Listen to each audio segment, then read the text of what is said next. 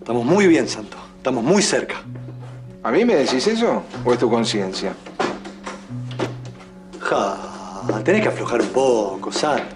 Hicimos cosas muy importantes hoy, viejo. Sí, no vas a decir lo mismo cuando Pacheco aparezca en una zanja. A Pacheco no le va a pasar nada. Porque mientras la reta está acá, a Costa no le conviene que aparezca ningún muerto. La reta no se va a quedar toda la vida, Coraje. Pacheco tampoco. Necesita protección, se la vamos a dar. Necesita una salida, se la vamos a dar. Ojalá podamos. Vamos a poder. Pero sí, la reta, no, no hay dudas. El otro coraje es hombre de costa. A ver, Clara, tenés razón, pero Sí. no podemos hacer nada porque no tenemos pruebas. Pero ¿qué pruebas necesita si lo vio usted mismo? El que le apuntó a Pacheco es el falso coraje, que fue el mismo que le disparó a usted. Está claro, la reta. ¿Otra vez, Clara? ¿Por qué me desafías? Mamá. Te dije que no te quería ver metida en esto, ¿eh? Pero no puede. Es más fuerte que ella. Pero por favor, abran los ojos las dos. El falso coraje es hombre de costa. Hija, hija, hija. Ay, hijita, donde sea que esté tu padre, lo único que quiere es que vivas tu vida. Mamá. Que estés a salvo. Olvídate de esa venganza. Olvídate de coraje. Olvídate de Manuel.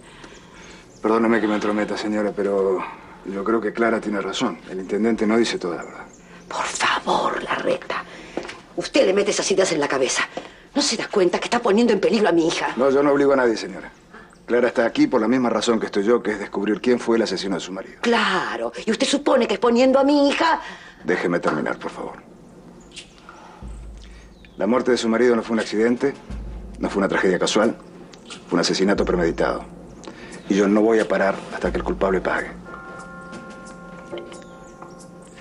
Discúlpeme por el exabrupto, señora. Pero yo necesito llegar al fondo de todo esto y para eso necesito de la colaboración de todos, incluida la suya. Por ejemplo, los papeles de su marido, eh, sus registros personales, como secretario de la municipalidad, todo eso, si usted me lo pudiese facilitar, sería muy importante para mí.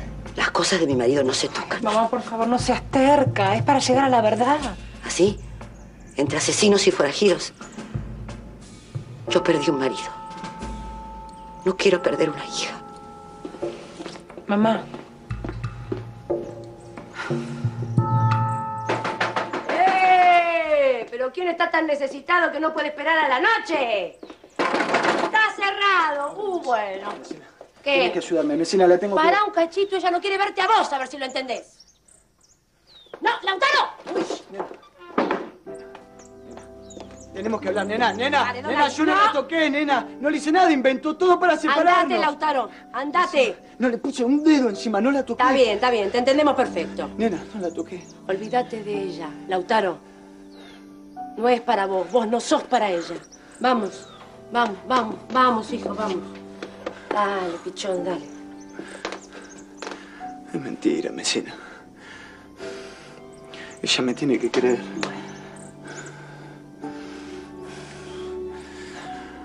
No puedo parar de pensar en la nena. Ella tiene que ser mía. Lo siento acá. Bueno, bueno, nene, bueno. Andate, andate, andate, andate, vamos, sé bueno. Andate, pichón, andate, andate, bueno, andate.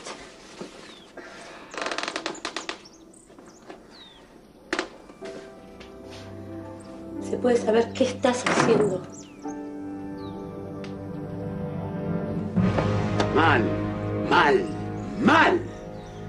No solo se te escapó coraje, sino ahora la reta se enteró de todo. Fue una trampa. Fue una trampa. La reta sabía algo. Fue una trampa, ¿no te das cuenta? Claro que me doy cuenta. Y vos caíste como un idiota. Pero no salió todo mal porque yo estoy acá y nadie me vio la cara. Y además Pacheco no va a hablar porque él sabe que si habla es hombre muerto. El problema es la reta, Horacio.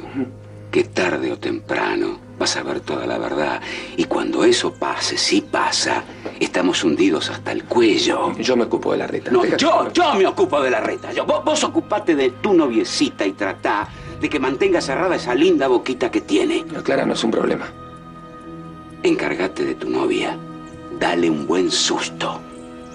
Clara no es un problema. Ahora.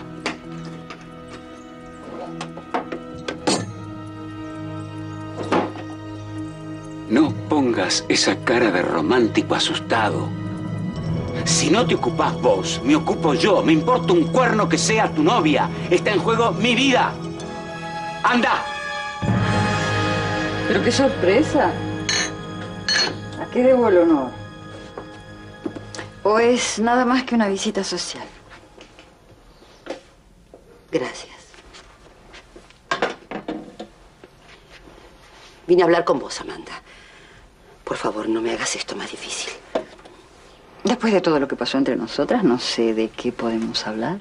Necesito saber cosas sobre Alejandro. Vos no ibas tanto a la intendencia como él, pero se veían. Ah, eso es verdad, pero yo trabajo en cultura y él era el secretario. No nos encontrábamos mucho. ¿Lo viste esos últimos días? ¿Cómo estaba? ¿Estaba nervioso?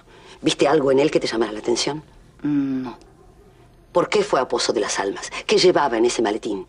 ¿Pero cómo puedo saberlo? No, vos algo tenés que saber. Por lo que más quieras, Amanda. Decímelo, por favor. Te dije todo lo que sé.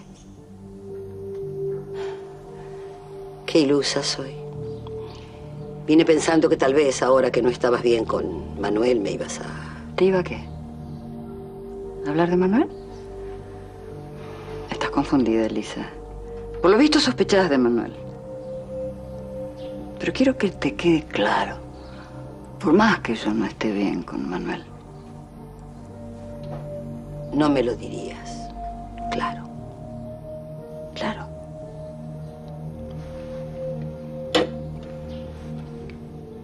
Sé por lo que estás pasando. Yo también lo pasé. Cuando murió mi marido, lloré, pataleé, busqué culpables. Tu marido murió en un accidente, Amanda. Al mío lo mataron. Gracias por recibirme.